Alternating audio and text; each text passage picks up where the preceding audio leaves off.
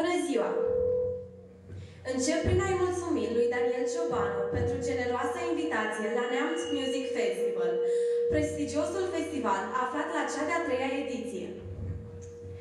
Încă de la intrarea în cinematograf ne-au întâmpinat lucrările artistice realizate de Andrei Lungu. Tot azi o vom asculta pe pianista Carina Uță. Sufletul acestui festival este evident Daniel Ciobanu, care să fie numitorul comun al persoanelor invocate? Așa cum v-ați dat seama, e vorba de foști și actuale elevi ai Liceului de Arte Victor Brauner, tineri cu care ne mândrim. Vă propunem să descoperiți azi activitatea liceului prin prisma parteneriatului din cadrul Orchestrei Grandissimo cu tineri muzicieni din Bacău și elevi de la Școala de Artă Sergiu Celibidache Roman. Orchestra este foarte tânără, nu are încă un an. S-a antrenat în două tabere timp de trei săptămâni. A dat două concerte la Casa de Cultură din Târgu Neamț și la Ateneul Bacău. Proiectul Orchestrei Grandissimo, care își propune să promoveze tinerele talente, este partea unui proiect amplu, platforma viitorului Generația Z, ai cărui artizani sunt matematicianul Florin Colceac, academicianul Constantin Bălăceanu Stolnici, domnul Tiberiu Dosfinescu și domnul Pavel Ionescu, managerul Filarmonicii Mihail Jora Bacău. Finanțarea din fonduri private este asigurată de oameni de afaceri din județul Bacău și Neamț, parteneri fiind Ateneul Bacău și Fundația de Sprijin Comunitar Bacău. Vom începe cu Beethoven, Sinfonia numărul 1, partea 4. Dirijor Andreea Srădoi Mihăiță, Orchestra Grandissimo. Să-i ascultăm!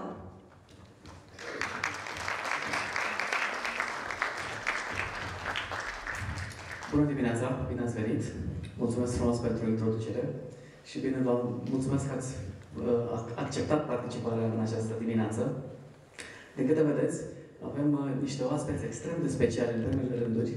Avem niște copii care au avut uh, poate nu aceleași începuturi ca ale noastre, dar cu siguranță există același spirit artistic și aceeași pasiune de a trăi ca și noi și sperăm că în această dimineață o să puteți uh, simți din, uh, din bucuria de a împărtăși muzică și să, să, să fiți inspirați și să, să vă dezlănțuiți efectiv uh, partea artistică din, uh, din voi. Vă mulțumesc pentru tablouri pe care le puteți, uh, le puteți uh, vedea în recepția cinematografului, exact la intrare pe partea dreaptă. Au fost făcute câteva lucrări uh, tot pe tema festivalului Duality, uh, de acești copii minunați. Uh, și lucrări pe care vă, vă rugăm să, să, să le luați suvenir. Sunt uh, chiar ale lor și uh, aveți și o cutiuță de donații care va merge înapoi spre centru. Um, o, o să vorbesc două secunde și în engleză. My dears, welcome this morning. As you see, we have, we have improvised on all the improvisations even more. And we have this very young orchestra. It's one year old, and uh, soon they will have their anniversary. And um, this concert, this charity concert, is for the for the people from the hospice. And uh, we thought maybe it's a good idea that we start to integrate a little bit and not keep this separation between between the children, and uh, try to make this kind of fusion for them to see a little bit the music and to see a piano, to see how an orchestra sounds, and uh, share with, with them a little bit our passion. You will see in the entrance, they made a little bit some artworks, still with the duality theme. They're like this uh, butterfly sort of paintings. And um, you're welcome to, to, to, to hit and run with, with them. And uh, I'll just tell you a few, few words. Uh, the orchestra is made out of high school uh, students from Piatra Neamț and Bacău. It's uh, quite a fantastic, actually, initiative that um, our director here, Mrs. Uh, Corlețeanu, um, she, with, with the Ateneum in Bacău, which has the, the famous orchestra, the Moldavian orchestra, and uh, they decided to have this, this junior orchestra in the same time with the big one to create this sort of uh, fusion again.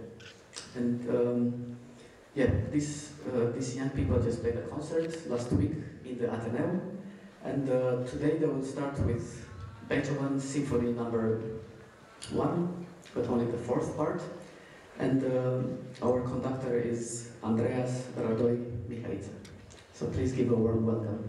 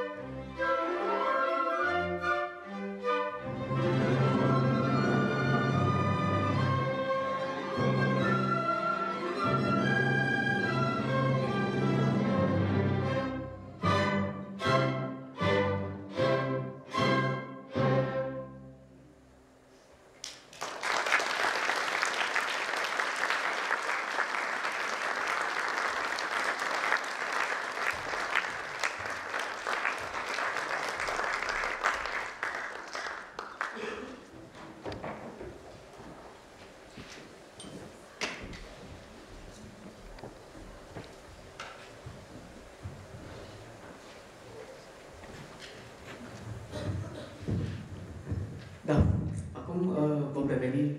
Inițial concertul l-am gândit, noi am avut patru zile de, de fapt, trei zile de masterclass și studenții, studenții uh, au nevoie de un, uh, de un clocot muzical și scena e locul perfect pentru așa ceva. Uh, în principiu, în lecțiile de pian se plantează idei, e nevoie de un pic de timp și apoi ideile efectiv se prind, prin viață, prin clapă. Am, ne-am gândit anul acesta să, să, să schimbăm un pic uh, uh, strategia și în timpul masterclass-ului și pentru profesori să îi poată asculta uh, în actul artistic care e uh, imprevizibil și plin de surprize pe scenă și ne-am gândit să, să vă oferim uh, și dumneavoastră publicului o parte din, uh, uh, din tehnica de masterclass. Așadar, aș vrea să o invit pe Irisa Filip în scenă.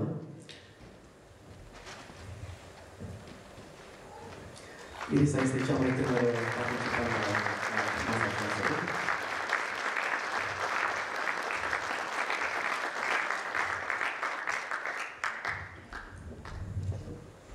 Și aș vrea să vă întreb două, două chestii. Uh, în primul rând, de, de, de ce ai ales să, să să cânți la pian. Poți să ne spui? În... În două cuvinte nu știu sigur, dar într-o propoziție probabil. Pur și simplu m-am îndrăgostit de el și știu că mă reprezintă cel mai bine din toate instrumentele. Și, um, de exemplu, când te pui la pian, cum te simți? Adică, care e, care e magnetul? Ce te atrage să, să mergi și să studiezi ore în șir? Și să înveți partituri noi? Uh, mă simt acasă, pur și simplu. Oriunde aș fi, în țară, în afara țării, la pian mă simt acasă. Da, deci e o, o zonă de confort, e ca un, ca un playground pentru tine. Și acum cine vei cânta? Uh, voi cânta doi clasici, Mozart sonata în fa major și Haydn concertul în re major, numărul 11, pentru pian și orchestră, doar partea a doua. Și piesele, de, de ce ai ales? Uh, sunt compozitori destul de greu de abordat. Care, care a fost uh, elementul cheie care te-a tras să alegi piesele acestea? În general îmi plac foarte mult uh, clasicii și faptul că am avut ocazia să învăț și Mozart și Haydn în același an este pentru mine pur și simplu raiul. Am înțeles. Uh, Irisa, she's the youngest participant of our masterclass. She already had lessons with uh, uh, Mihaela Spiridon, our local teacher, and Graham McNaught yesterday. And uh, she will play a Mozart sonata and a Haydn concerto, but just the piano. So I hope you will enjoy it.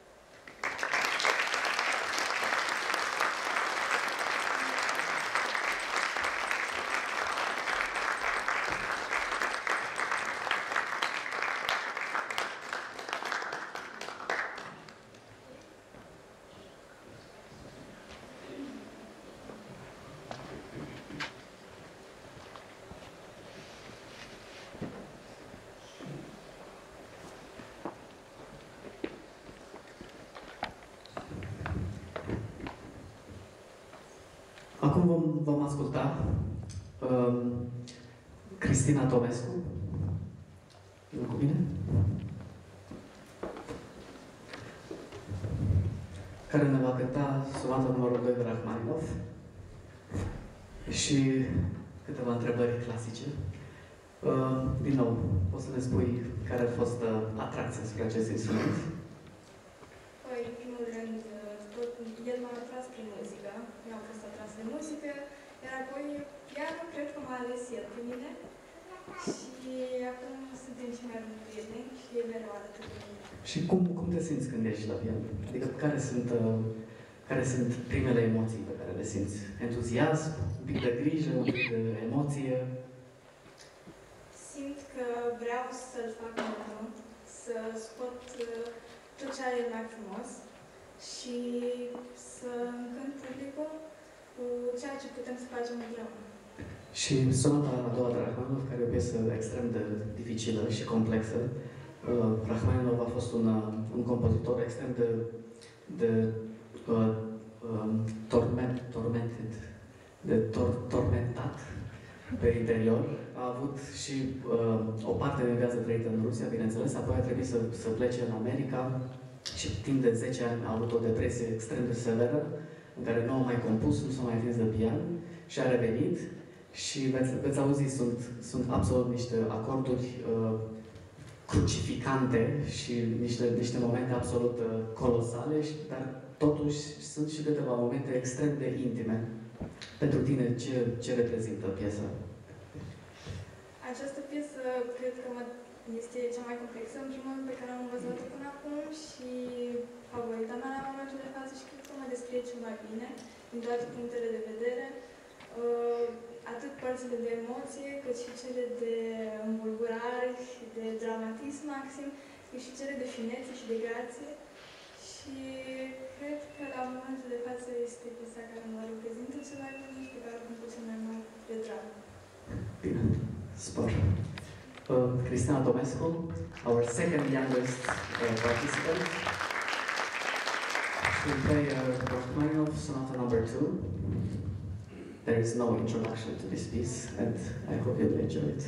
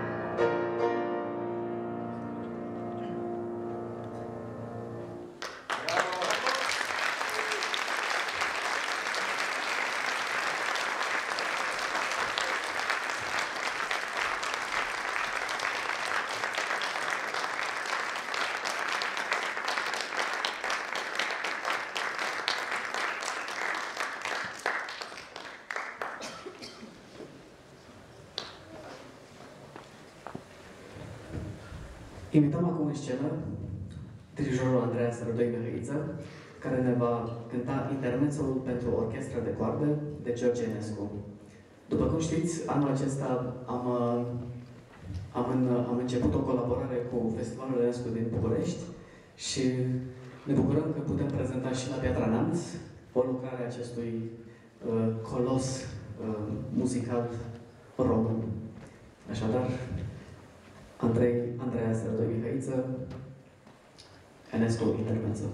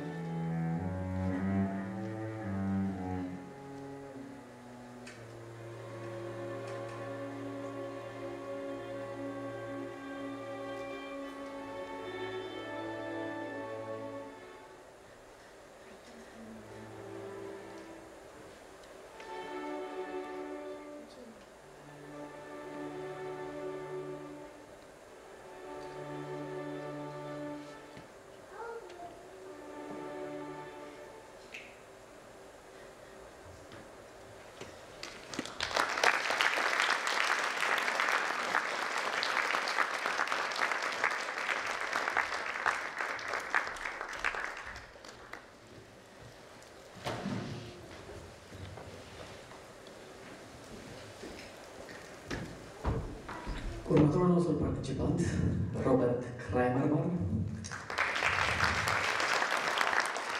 ne va cânta cu o piesă de Frederic Chopin, balada numărul 4. Așadar, Robert, în primul rând, ce te-a atras să... ce te-a atras să încep să studiezi la pian? Cred că, dacă este să fiu sincer, curiozitatea primul lucru, pentru că fratele meu cântă la pian când eu aveam vârsta de 5 ani și am vrut și eu să încerc.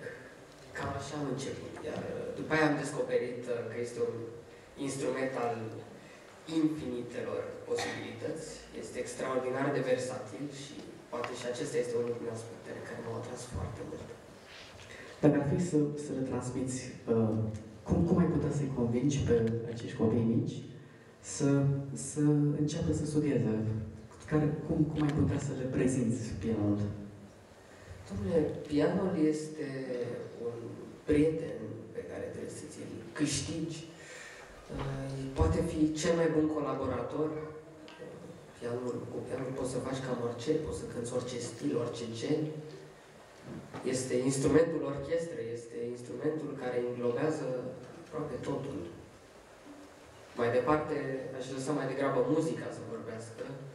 Muzica scrisă pentru pian, pentru că uh, există atât de multe mari compoziții scrise pentru acest instrument. Și când ești la pian, cum te simți? Care e, care e emoția principală care se activează? Depinde de situație, dar pianul este un lucru prin care pot să mă exprim.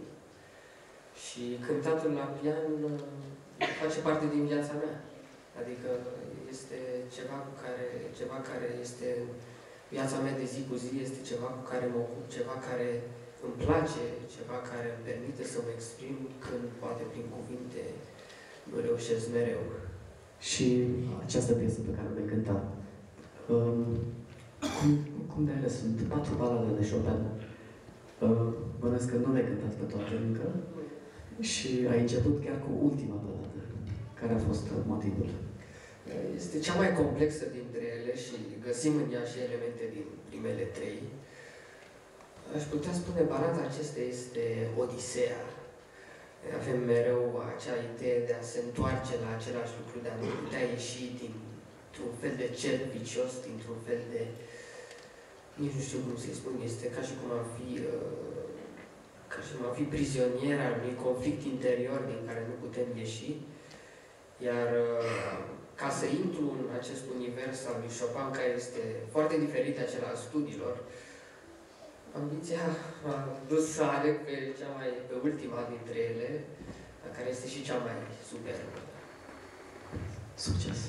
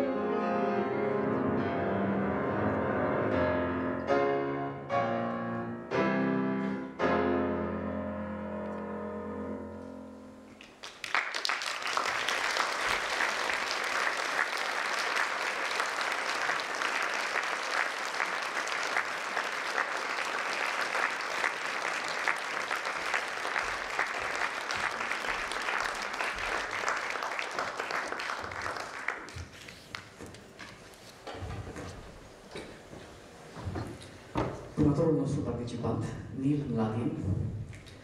Uh,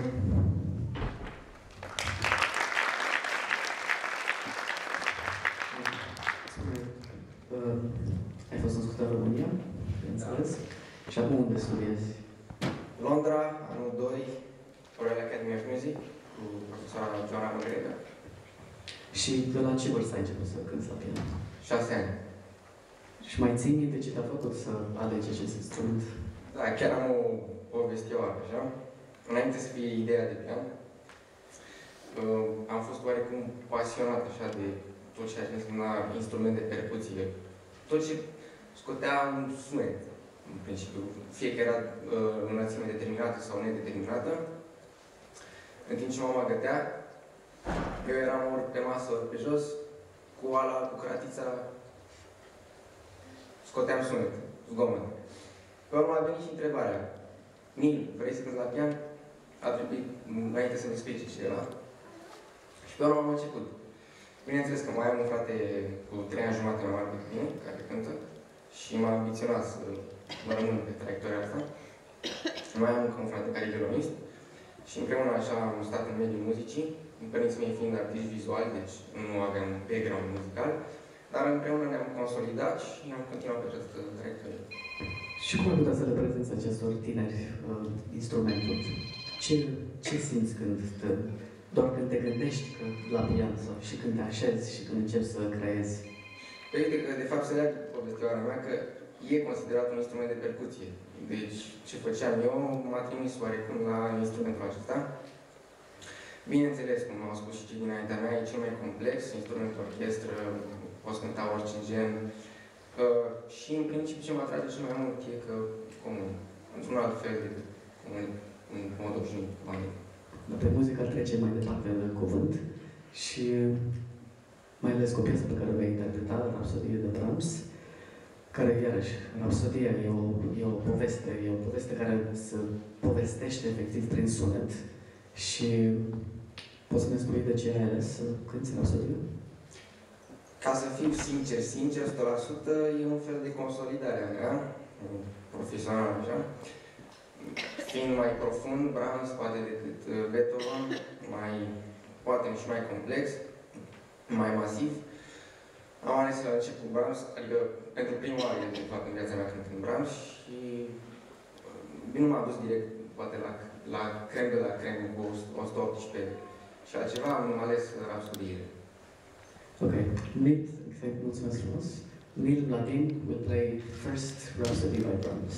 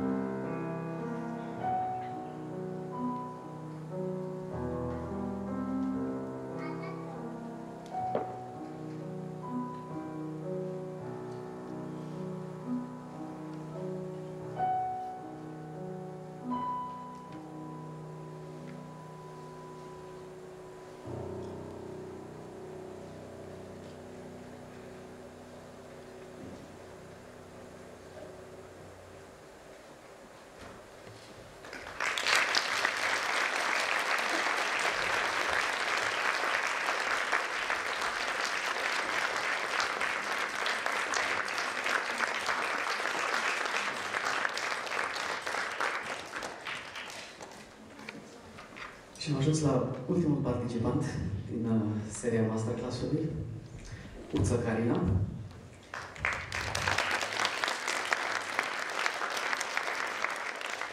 care e chiar din Piatra Neamț, am studiat în același liceu. Uh, Bineînțeles, ea e cu 100 de ani mai tânără decât mine. Uh, Carina, spune, cum, uh, cum ai început tu să studiezi la pian? Pot spune că mi-a plăcut foarte mult uh, provocarea de a gândi că pianul este o întreagă orchestră și provocarea de a încerca zilnic să găsesc anumite sonorități și efectiv de a imita fiecare instrument din, din orchestră. Părinții m-au dus la liceul de muzică în clasa 1 și imediat ce, ce am intrat pe ușă, am văzut un pian și m-am îndrăgostit de el. Dacă e un instrument destul de, de puternic vizual. Și poți să ne spui ce vei interpreta? Voi interpreta momentul muzical numărul 4 de Rachmaninoff. Uță Carina, False Musical Moment. Foarte frumos.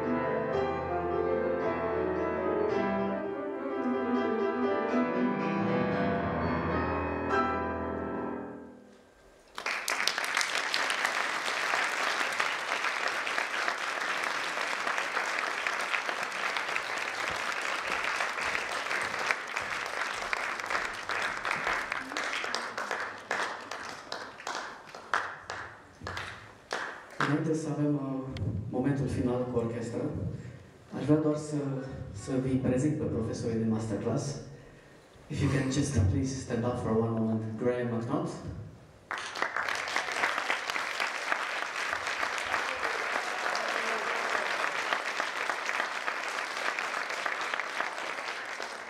Uh, a veteran of our festival since the last edition. and uh, Petras Geniushas.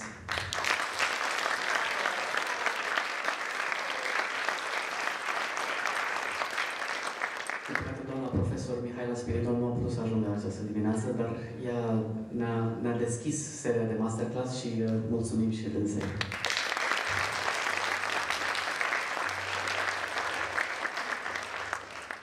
Uh, Aș vrea totodată să transmit sincere mulțumiri Liceului de Artă prin uh, reprezentantul care, care ești doamna director Corlățanu.